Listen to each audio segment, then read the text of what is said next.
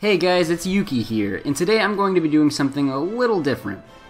Today I'm going to be giving my thoughts on what the last few new characters are going to be for Super Smash Bros. Ultimate.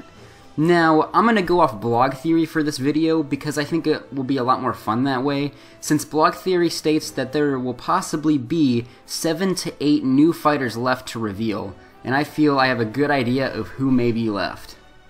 If we're doing this via blog theory, then I'm going to start off by listing the Echo Fighters that I think have yet to be revealed, and then I will say who I think the last few newcomers will be. Starting pretty basic here, I believe Ken as an Echo of Ryu is pretty much a lock for this game, mainly because he is the original Echo Fighter of fighting games, and that one picture leak that we did see of him in the game is pretty darn convincing to say the least, and has yet to be debunked.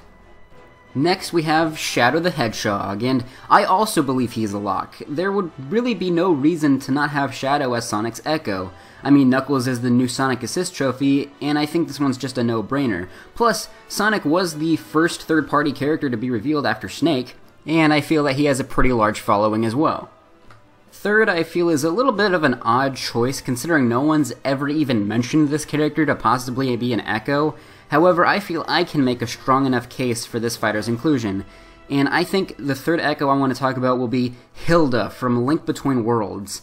The main reason I think this is because she could be Zelda's Echo Fighter, since they completely redesigned Zelda to look like she did in Link Between Worlds, so I feel it just makes sense to give Hilda as an echo of Zelda.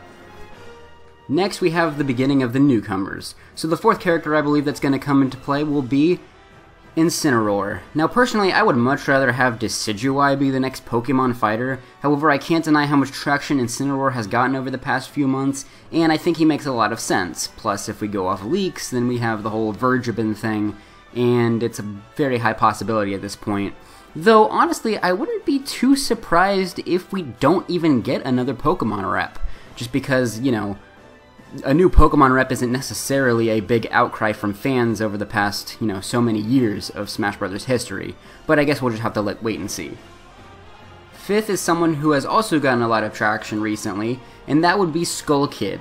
I mean, think about it. The Moon is the Majora's Mask Assist trophy, we have yet to see Skull Kid, and Sakurai made a big deal about Skull Kid not being playable in Smash 4, and we have yet to see Young Link's final smash, so I honestly think that Skull Kid will be in this time around. If not base game, he will most likely be in DLC, if we even get DLC, because I kind of have a working theory in my head that we may not get DLC, or we may not get DLC as quickly as people are expecting, mainly because I believe Sakurai is all about the main game. He's focused on that. He ain't worried about DLC right now.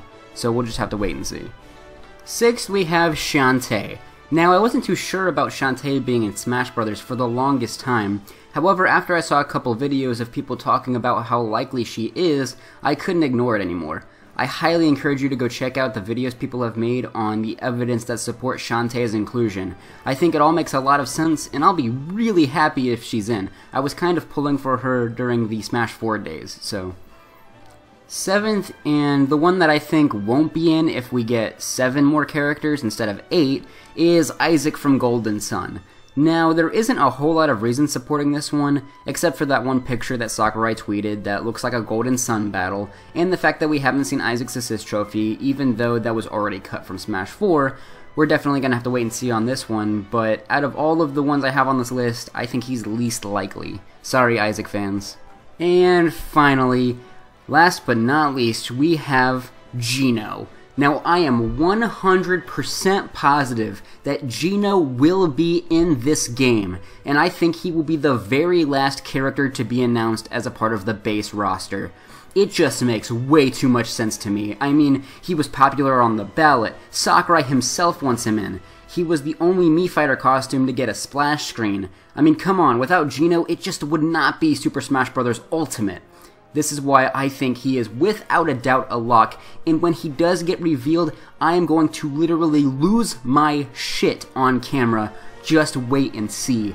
Hopefully we won't have to wait too much longer for him to be announced.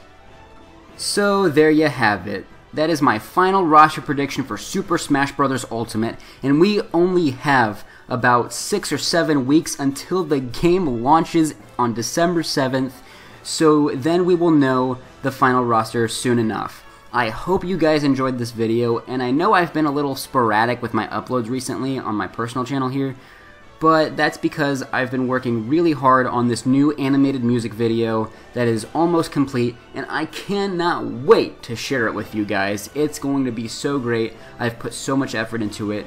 I'm so excited. And my next video will go up on next Thursday, not this Saturday, because I'm going to be adding in a lot more production quality into that video in particular. And yeah, I really hope you guys like it. I'm going to be trying out some new things, so we'll see what happens.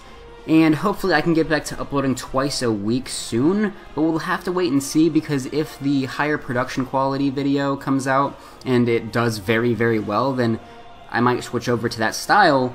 And if that happens, it'll probably be more like one video a week. Uh, no, without a doubt, it'll be one video a week after I finish the animated music video. But that'll only go on for so long because I'm going to be working on another big project and so on and so forth.